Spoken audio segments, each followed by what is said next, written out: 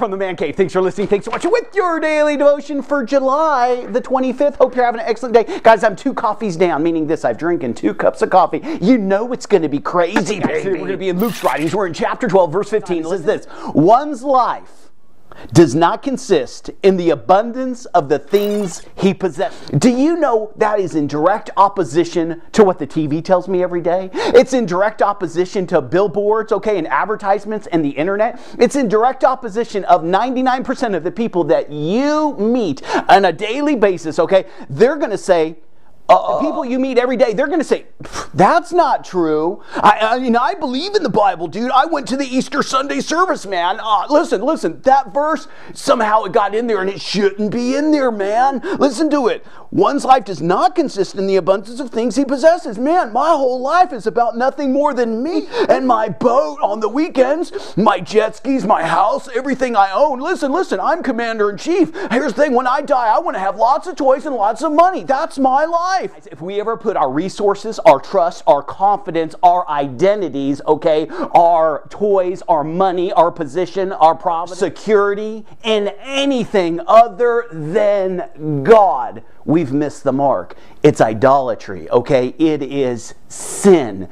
It's a lure of Satan. It's a trick of Satan. I can't tell you how many people, okay, that he's pulled one over on them, okay? Oh, yeah, I can. The majority of people in life, okay, are not content, okay, with God alone. Uh, listen very carefully. They're, they're not happy with God alone. They want the world, okay? Hey, the world is not enough. They could have the world and they still want more. They went up to Rockefeller one time and they say, hey, how much money is enough? Now realize this, he's a billionaire. He said, one more dollar. See, that's the mentality. But with that mentality comes this they're never happy, they're never satisfied, they're never content. That means they always have to have more to feel something on the inside, okay? And here's the thing that doesn't work. Why? Because here's the thing since I always need more, I'm never satisfied with light, I'm never content, I'm never able to walk down the road in my current situation and smell the roses and enjoy life and enjoy all that God has given me at any given moment. Okay? I don't need the world as a Christian to feel good about life, to have peace, to have contentment, okay? Okay to enjoy this life. And friends, here's the thing if you're going through life and you always have to have this, this, this, this, this, this, this, okay, to be happy, guess what? You're never going to be happy. I, okay, that's the reason in the Bible in Ephesians 5 5 that the Apostle Paul says this that the covetous man, okay, is an idolater. I mean, he's saying the person that just has to have this is always thinking about this, is always entertaining this thing. I mean, they're never uh, they're never satisfied, and God is blessed you and I, and He's blessed many other people that will watch this video, but they're never happy. It's always more. It's always the bigger house, okay? And when they have the dream house, it's not enough because of what? Because of this principle, okay? Because they are serving the God of this world. They are serving Satan. They are serving their flesh, and Satan has pulled one over on them. Lucifer, the great dragon, Beelzebub, has pulled the greatest caper on them, okay? Has them entertaining these thoughts that this will make you happy, or this will make you happy, or this position, this person, this type of sex, okay? Outside of marriage, all these different things. It's mind boggling. All the different things he's throwing our way, and it's coming at us, okay? And, and friends, it's coming at us at a million miles an hour, okay? Listen, listen, listen. None of that makes you happy. Uh, what, what, are you talking about, man? No, no, it doesn't make you happy because you want more. The Bible would ask this question of us Where's your treasure? It, it'd say, what, what is your life? I mean, here's the thing all those things are fun and they're in, enjoyable. I'm not saying they're not enjoyable, and I'm not saying if God adds those unto you, you, you can't enjoy them, okay? But that was never, nothing materialistic was supposed to be God. No person other than Jesus Christ was supposed to be your God. And oftentimes we will make sex our God, or power, or mammon, or materialism, or position, or jobs, or titles. We make all these different things God. And, and again, Paul the Apostle said, hey, uh, you as a covetous person I are an idolater, and no idolater is ever going to make it into the kingdom of heaven heaven. Why? Because that has become your God. So many people, and it doesn't matter whether it's church or outside the church. Listen very carefully, because the same people that are outside the church are inside the church. There's very few of God's people where He's in. Listen very carefully. We're going to make it to heaven one day, one way or another. And you're like, oh, so it, all roads lead to Rome? No, no. I'm talking about the great white throne judgment, okay? I'm talking about you being in the wrong line, okay? And I wonder if you were standing there and it was your turn and you're standing before God and you have what's called full knowledge because after you die and you enter into eternity, you have full knowledge of everything there is to know, okay? So now you're standing before Almighty God and He asks you one question, which He already knows the answer. Why wasn't I enough? Why wasn't Jesus enough? He doesn't need to ask you the question, where was your treasure? Because he already knows that because of what you focused on what you thought about, your drive, your desires. He, he already knows what you're about. I, I, I, think a lot of people are playing games with Almighty God, okay? They say they love God. They say they want to go to heaven. They say they want to serve Him. And they say He's number one in their life. But that is not the truth by their actions, their deeds, their decisions, and their choices, and the things that come out of their mouth. He is really not number one in their life, but He's just down here. You know what He is? He's like a safety net to a lot of you. When you die, you want to know that you're going to heaven. Nobody wants to live this life and think when I close my eyes in death, I'm going to open them up in hell. Listen very carefully. Your life was supposed to be so much more than just accumulating a bunch of stuff. Tin, plastic, rubber, steel, I mean, think about it. Uh, uh, what is this TV right here? Well, it's plastic, there's metal, there's components on it. What about this? Wood, hay, stuff. You see what I'm saying? Listen, I want you to reevaluate your life today. I really do. I want you to think about what you've been doing and has it worked so far? Is it God's will? Is it God's plan? Is it, I mean, really, if that's if God's told you, hey, I want you to have $50 million, I want you to have 10 houses, okay? I want you to be filthy rich, okay? And I don't want you to tithe, I don't want you to give, I want you to be self-centered, okay? I want you to be a jerk. Okay, if that's what he's spoken to you, then live it out, okay? But I don't think that's what he spoke to you, is it? I mean, a lot of us think he spoke those things, and a lot of us want these blessings, okay? And why is it? Are we trying to keep up with someone down the road? Are we trying to keep up with the Joneses? I just did a video a couple days about that, okay? And we can't keep up with the Joneses because God has allotted every person their due in life. Guys, guys, guys, listen to the text again. One's life does not consist. It says it doesn't consist in the abundance of the things that he possesses. Your life is more than a pillow. I mean, here's the thing. Do you want me to compare your life to a pillow?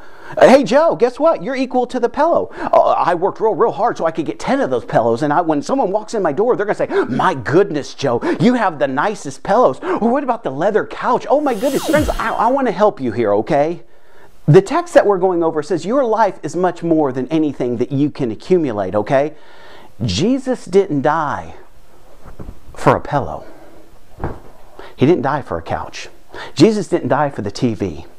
Jesus didn't die for the computers over here. He didn't die for my fridge with all the food in it. He died for me. Do you understand what I'm saying? The things that Satan is pushing and the world is trying to tell you will make you happy if you have this and, this will bring some lasting contentment. He will play that game up until you no longer have the ability to work or no longer have the ability to gain money, to gain wealth, to gain the materialism, okay? And this is the game that you've been playing your whole life and then he laughs at you because now you're old and you've wasted all your years on things, okay? How long is this TV good for? I mean, how long do they last? Five years, six years, seven years? Okay, and this breaks and I got to get another one, but it's the newest one at that time, okay? And I guess in two years there's going to be even a newer one. Your life isn't about possessions, even though you like them, okay? Your life is about Him. He died for you. He loves you. He's not dying for your couch. He's not dying for your TV. He's not dying for your dog. He died for you. That makes you so valuable to Him. The Bible would say this What is your life? Well, I know my life has been given to me by Almighty God, and it's very short in comparison to eternity where's my treasure? Is my treasure God or is my treasure my job or is my treasure this or this or this title or power? You know what I'm saying? The majority of people in life have missed it. Look at, look at, look at. I would say out of every 100 people, 99 have missed it. They've missed it, okay? And so they have a lot of what I'm talking about but it doesn't bring joy. It doesn't bring contentment. They're not enjoying life. Okay? But God says these words, and we'll stop here. Seek ye first the kingdom of God and his righteousness. All this other things, I have no problem with you having them. That's what he says. You see what I'm saying? And so everybody, they want the good stuff. They think this will bring me happy. It won't bring you happy if you don't have God number one in your life. But if God is number one in your life and God adds that to your life, and when God adds things, you always heard you've heard me say this a million times, He doesn't add it with a burden. When God adds that unto your life with no burden, you will enjoy it. You are just a steward of it, okay? You realize that everything in this life belongs to God, all the materialistic stuff, the cattle on the thousand hill and all the hill and everything belongs to God. He's allowing me to enjoy it. He's allowing me to use it. If He gives it, great. If He takes it away, great. It doesn't matter. It's His, it's His prerogative, whatever He will. Realize this, all those things were never meant to be treasures. They weren't meant to be my God, they weren't meant to be showpieces, okay, to brag. I've made it, I have it, okay. The, oh, you've missed it, partner, okay, if you think that, okay, because you don't know when God will require your life. And I promise you, you're not taking that object with you when you stand before Almighty God. Which line will you be in heaven? Will you be in the Bema Seat judgment where King Jesus is rewarding you for the life that you've lived? Or will you be in the great white throne judgment where you are being sentenced to hell and the lake of fire, okay, because of who your God was? Who is your God this day? Is it possessions that you can't take to heaven? Or is it Jesus that's already in heaven waiting for you and he lives inside your heart? What is it? What you need day? to do, guys, is do a self evaluation, okay? Why do I do what I do? Why do I want this certain object? Is God number one in my life? Is he really the love of my life? Or are other things the love of my life? What have I been doing in the past? Do I need to ask God to forgive me? have I missed the mark? Am I on the Broadway and I didn't even realize it? Have I been paying homage to God? Meaning I've been living like this. I've been living like the world. I've been trying to consume. I've been trying to find happiness in the world and of the world and of the things of the world and engaging of the things of the world, just like God said, don't do it, okay? But I go to church and I will pray and I'll read and I'll play the Christian card out there, okay? Thinking and, here, and here's the thing, I'll throw a couple bucks in the offering plate, you know, because I want to play this out up until the end that you die and you open your eyes in hell because you never had a personal relationship with God in a meaningful manner, that He was number one in your life, that He was all that you needed. He added the things other than you adding the things. So I guess what I'm trying to say is this make sure your life is more than just stuff and your desire for stuff and your accumulation of stuff. Okay, I mean, that's here's the thing. When I think of you hanging out with me in the man cave, I'm thinking about you as a person. I'm thinking about how cool you are. You know what I'm saying? How there's no one like you, that God says He has a purpose and a plan for your life, okay? That He says He sent His only begotten Son to die for you. I'm thinking about all those cool things, all you're going to accomplish for Christ, all that you're going to do for the kingdom of heaven, all that you've already done. Okay, yeah, along the road. Okay, yeah, we've had a couple trip ups, we've fallen down a couple times, but we got back up. Okay, we brushed off, we asked God to forgive us, we're moving forward. See, you're more than what you own, you're more than what you wear, you're more than what you drive, you're more than a position that a man gives you. No, you're a citizen of heaven, you're a child of God, and God gave His only begotten Son to die for you. He gave His blood for you. Friends, don't sell out for a couch, a TV, a house, a car, all nice in their proper place. But here's the thing God has so much more for you than those things, okay? Once you understand just a little bit of what I'm talking about and you find that peace, you find that contentment, you can start resting and abiding. You won't believe how the heavens will actually open up, and a lot of those desires that you were trying to get the wrong way are added unto your life because now you realize you're a steward. I enjoy this, I enjoy this, I enjoy this, I like to do this, but here's the thing that's not my God. He's my God. He's the one that died for me, He's the one that leads me daily. And here's the thing I'm going to love Him and put Him number one in my life. Hey, I hope this helped you out. This is Matt from the Man Cave.